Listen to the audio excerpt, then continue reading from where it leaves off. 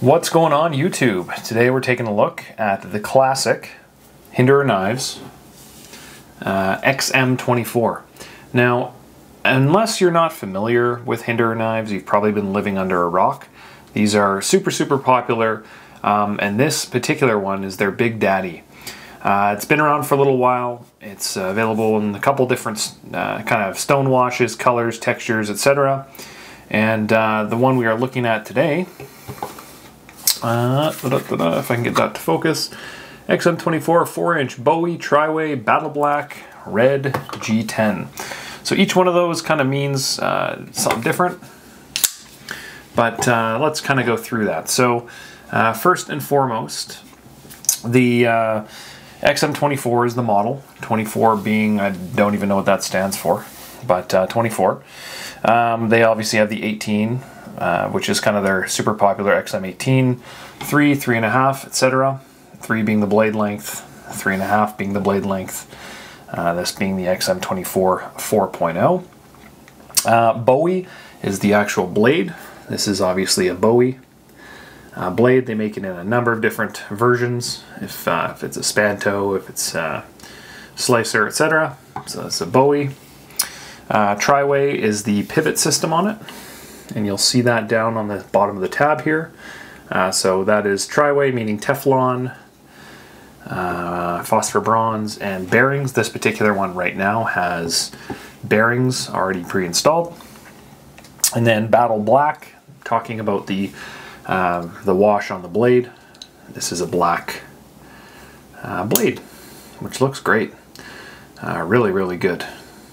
Kind of black, dark stone wash, which is unique. Don't see too many of them around there. Um, and then uh, red G10 just being the handle, G10 being the plastic material.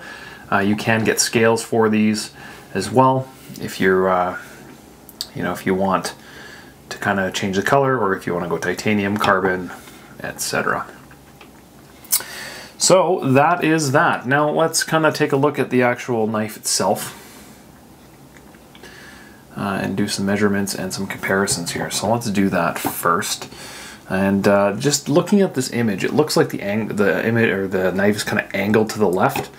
It's not. It's just it's such a like a level like with the pocket clip that would be kind of sitting level. That's how it should look, but it's just leaning down. So I apologize about that. So they say it's four inches, and uh, sharpened. We're not four inches. We're actually at uh, three and five eight, eh, maybe three and three quarter, right in that conversation. Overall, though, yeah, you can see it being four inches to underneath the thumb stud. And uh, it's a big boy, nine and three eighths or nine and a quarter, right around there. Overall length, which is a nice, it's a nice knife, nice solid, solid size. Um, comparisons uh, in the Hinderer line, we're going to show you. Let's show you a couple here. So the Eklipse. This is uh, super popular, kind of replacement of the XM 18 3.5, or I should say replacement, it's the newer version of it. They're still making the XM 18 3.5, super common. And then the Jurassic Slicer. So here's kind of the, the three that are in my current collection that I'm, uh, I'm a big fan of. And uh, they all feel very similar in hand. They all have that Hinderer kind of feel to them, which is, uh, which is awesome. Like when you hold a hinder, you kind of know right away what you're dealing with. And uh, the only thing is, once you put a tie scale on it, like I did on this one, uh, and I'll do a video on this knife at some point here, and I don't think I have already. But once you go full tie, it's really tough going back. I warn you, and I warn your bank. Um, on this guy, though, this is what this is. The show is about. Is this XM24 Bowie? So this guy, I believe, is 20 CV. I don't know if they've done this in a MagnaCut yet, or if they're planning on that, but I can only imagine that's, uh, you know, I assume it's coming. Um, this guy is screaming sharp. Now, Hinderer, they're not known to have the sharpest factory blades on them, but, like, yeah, it's got some, it's a real sharp blade. The pivot system on this is, like I said, the Triway. And uh, the beauty of that is that you can kind of run phosphor bronze, you can run Teflon or uh, bearings. Uh, the other nice thing is when they ship these into Canada, they they run them on Teflon and they crank this pivot down, the hardware down, so that there's no issues with any uh, anything getting through border security, which is nice. Um, on the pivot though, like these things fire out. Action's amazing. These are workman's knives. They're durable. You know, they're touted as military blades, really. Kind of like a Strider would be. Um, it's, it's an absolute beast of a knife. It's big. And I, I don't know if this would be my everyday carry. I don't know if I could pull it off. But um, some people do. A lot of people do. And a lot of people like it. Uh, super easy to work on as well. Um, I actually have a dedicated Hinderer penny here, uh, which I've marred up. And uh, what I've used this guy for is uh, to take it apart. So the key thing is you can get a Hinderer tool, but this is titanium hardware. And titanium is really hard, okay? So if you don't want to damage that, and the, the Hinderer tool is titanium, so tie on tie is not good. And uh, you just don't want to damage it. So you get a softer material, you could use a credit card, kind of fold it over on itself, or for me, use a penny. Works just fine, fits nicely, you can get in there, take it apart, and it will not leave a single mark. Uh, so that's kind of how I've done the bearing change. On the actual uh, rest of the knife here, on the ergonomics, um, let's get this guy in hand. So it feels like a Rick Hinderer. It fits really well. Uh, you've got some real nice thick jimping up here that runs uh, for the majority of the top of the handle, which is nice. Hopefully you guys can see that. Real, real nice jimping. Makes a lot of sense. Um, you can choke up onto the blade. It is, uh, it is kind of recessed down for that Bowie, which looks nice feels nice. I don't know how useful that's going to be. You're, you're choking up big. I've got an XL hand and I've got to really move my hand forward to utilize that space. You've got the customization points in that you can make this knife your own by changing out a couple little things here. Um, this little hardware there you can pull out and put some stuff in. As well, is there another one of those on the back here? If you want to change the clip, you know, you can change that, modify it. Uh, you can run this guy top up or bottom up on the actual carry, which is kind of the whole point here. And the customization point that we're talking about is you can flip the clip, run it either way. I prefer it this way, which I've done. I believe they come factory in that position as well. Um, they do have a dedicated over travel stop. You can see underneath that pocket clip, so this is not going anywhere, which is awesome. We've got a different material for the lock bar insert. And remember, the, uh, the lock bar insert isn't just to uh, prolong longevity on the wearing parts of the knife, but it's also to, uh, remember, titanium frames and steel blades don't necessarily mash very well when it comes to uh, grinding on one another.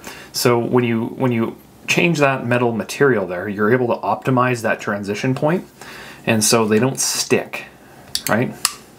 Um, I know I've seen some knives that, uh, you know, it just they don't put a lock bar insert there, and it just doesn't work as well as it should. Right? Um, I'll just cut into the top of the board there. Um, when you're firing this guy out, you know, you're looking at this flipper tab for a lot of its, uh, um, for the jimping we talked about. I'm kind of wondering why they put jimping on the top part here. Um, just looking at this now, and I think all the hinders are like that, other than the Jurassic. Doesn't have any, I don't think. Yeah, it's smooth for looking at the Jurassic here. So I don't know why they do that. And the Eklipse, same thing. They've uh, put a bunch of jimping on there. So I'm assuming it's like, hey, this is where you want to fire it. But if you look at the the physics of this, you can't really fire it from there, right? You're pulling back, and pushing it out, right?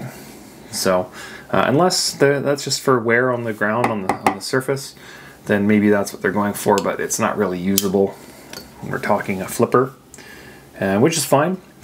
Um, all the hardware is Torx, and um, which is nice. It actually screws into the hardware adjacent to it on the other side versus going right into the frame, which uh, has been a known issue on some models where you can strip that out, not necessarily hinder.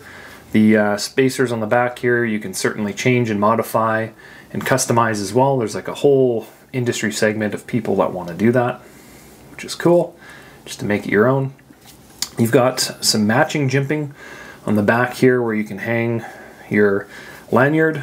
Lanyard's a pretty far back position. You know, I don't know why they do that. Oh, I actually know exactly why they do that because it's a Bowie and there's no blade that's sitting there, so may as well put it there.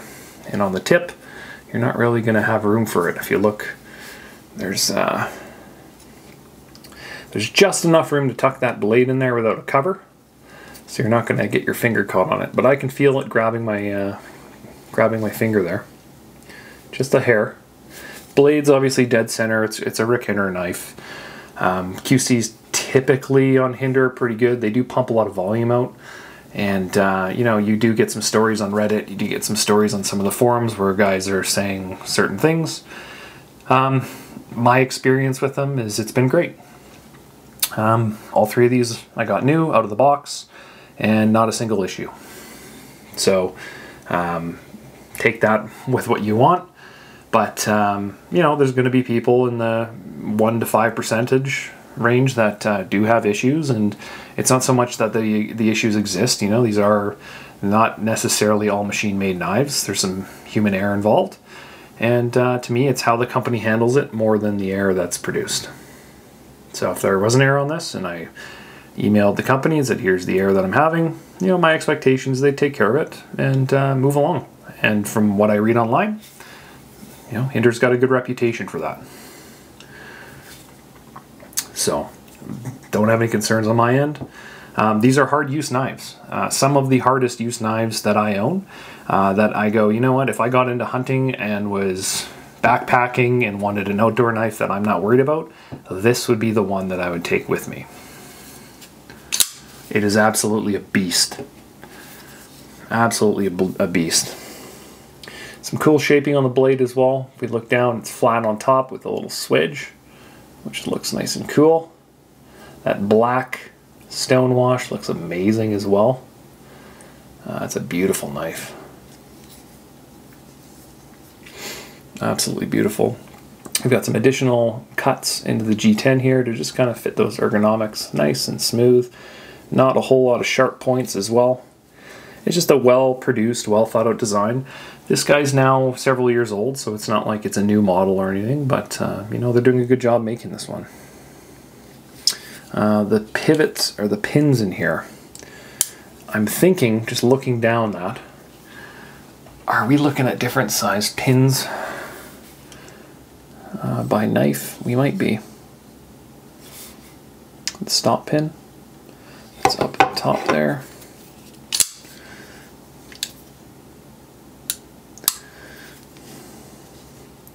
That's interesting, I never noticed this.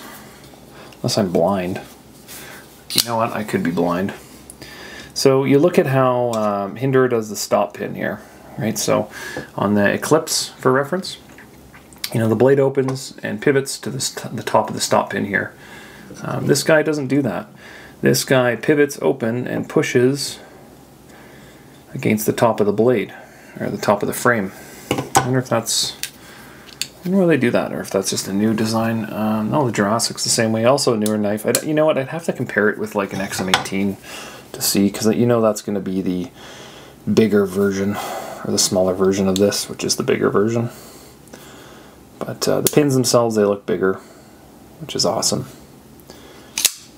Great sound on deploy. Just a, just an awesome feeling quality knife. Honestly, like for what they're doing for $425 on this, or, or actually this one's a little more, I think it might be 550 600 bucks. Uh, and then if you want to throw a tie scale on it, you're, you're getting up there.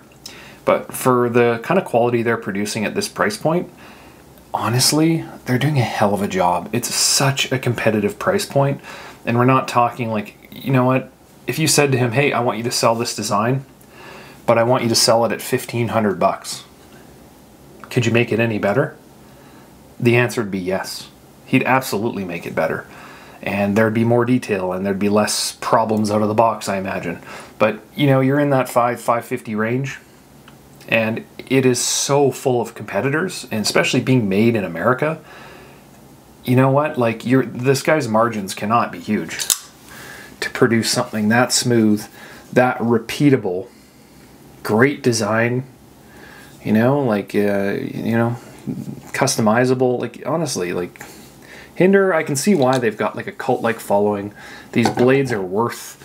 Um, they've got really good resale, just like a lot of the Chris Reeves, um, so the Shirogorovs. You know, these are these are carryable GICs in a lot of way, hard use, uh, like Striders. Um,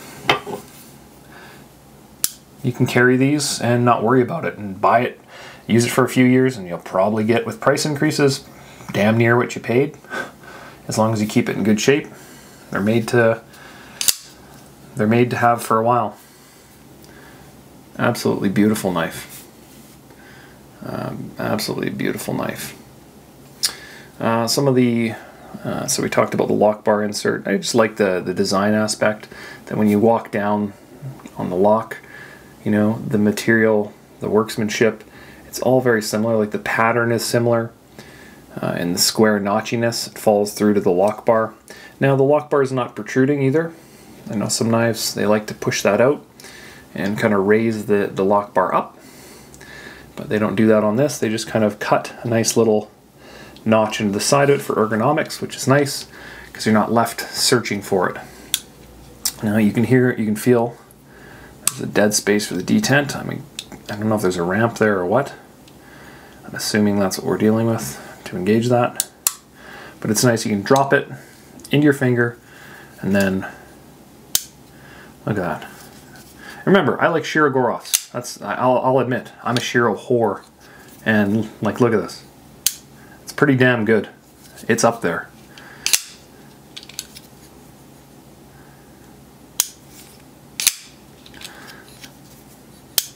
If we can get some sounds.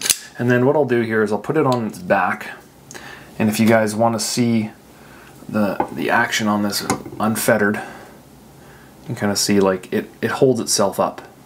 And this is the whole point here, guys. Like you want it to hold itself up. You don't want it to fall down. Right? And this one's not worn in at all. But controlled, nice, nice detent, holding it in place as well. Just uh, solid. Of course, you can jiggle it down and get it to close without issue. But you don't want it to be a guillotine. You don't want it falling on your finger. These blades are sharp.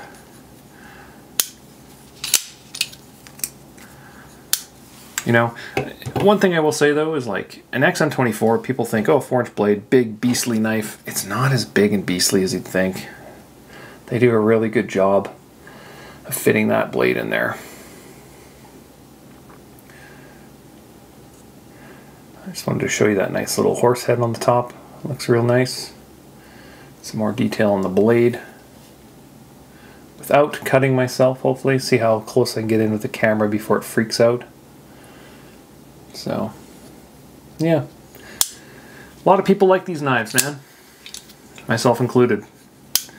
So, wanted to do a quick video on that. I talked about the ergonomics. Uh, I talked about the blade, the Bowie, the, the black finish, the hardware. The back spacer options, you can customize that. Talked about the pocket clip. I like the pocket clip, it's simple. Um, could it be more of a machine super cool clip? Of course, but then you're going to be into a different $100 up price point, I imagine. And then now we're not talking, now we're talking about a knife that, uh, you know, is another 100, 200 bucks and that has plastic scales on it. And uh, all of a sudden it'll be a different conversation. So, you know, once again, if you want an aftermarket one, get one. Um, what else? The ergonomics on this is kind of confusing. I'm not a big fan of that, but uh, you know what? If you're going to light switch it, you're not going to have any issues. Um, you know, there's a reason they make it that way. It does stick up a little bit, the pocket pecker, but if you look at the curve of the actual handle, and if you follow it around, it kind of encapsulates that if it were to be a, a box. So yes, it sticks up, but it's almost countersunk in a way. Um, I think that might be it.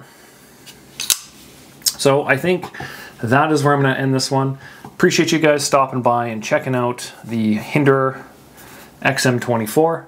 And uh, you know what? If you have any questions, leave them below. Like, subscribe, share, all that good stuff, especially early on in the channel's life, which is right now. Um, anything helps, and uh, every single comment I'll leave uh, reply to you guys. So appreciate you. Thanks for stopping by. And uh, until next time, we'll catch you around. Cheers, guys.